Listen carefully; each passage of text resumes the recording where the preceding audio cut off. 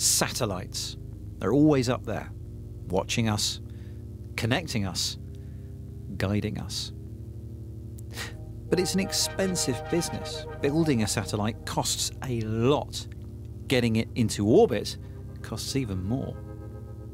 That was until 1999 when two engineers invented the idea of the CubeSat, a cheap, standardized mini satellite that could be fitted into the spare space around other payloads in a rocket. Suddenly, you didn't have to organize your own launch, you could just hitch a ride on someone else's. And that made satellites available to places that could never have afforded them before small companies, researchers, and even university students. We basically took this approach of giving them minimum resources so they cannot do anything too complicated. And then you standardize it and make it small. So two things happen. One is cheap and easy to put on a rocket. And second, you have a lot of people building the same thing. So now we have numbers behind us. Before every university was trying to launch their own spacecraft. The industry is now worth hundreds of millions of pounds. And over the years, we've looked at CubeSats that observe the ocean, the land, and may just create fireworks for the 2020 Tokyo Olympics. And to help mark the 20th anniversary of this remarkable invention, we've sent meteorologist Peter Gibbs to find out about the latest edition, an all new weather CubeSat. The River Clyde here in Glasgow used to be one of the main shipbuilding centres in the world. That's now long gone, but they're building a different kind of ship here now, spaceships. Just up the road, they're putting together a revolutionary new kind of weather satellite, and that's what I'm here to see. Clyde Space is one of the companies who have built some of the nearly 2,000 CubeSats launched into space in the last two decades. Now, as a meteorologist and a bit of a space fan, I'm really excited to see the tech that could potentially improve weather forecasting. But before I get a chance to get near a CubeSat, well, I have to look a little ridiculous.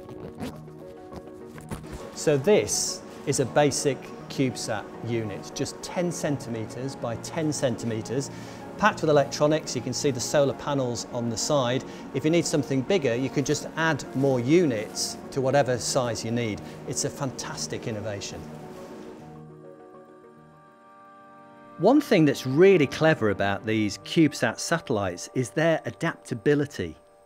So we've got a standard chassis, we've got some solar panels there, we've got electronics units. These are all off the shelf into the satellite, yeah. and then the customer can put their own bespoke bit of kit into that, but get it into space much quicker. Yeah, absolutely. So you can see from these systems they're a uniform size. Those stack up into uh, what we call the avionics stack.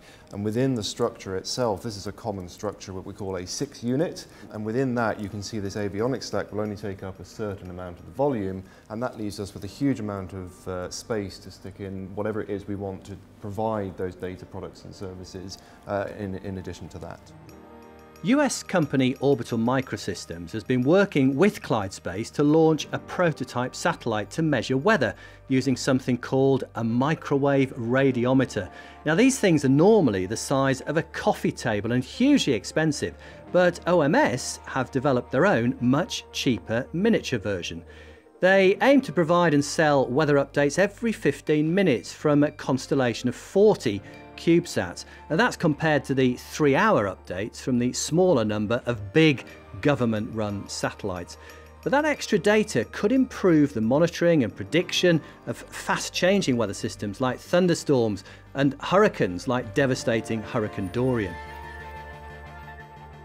We actually see ourselves as being complementary to all of the government satellites and we are excited that they still fly these instruments. They're great. We can calibrate to them, but it's another observation that we don't have to fly. So we're flying in between, we're filling in the gaps to make it a, a more robust observation.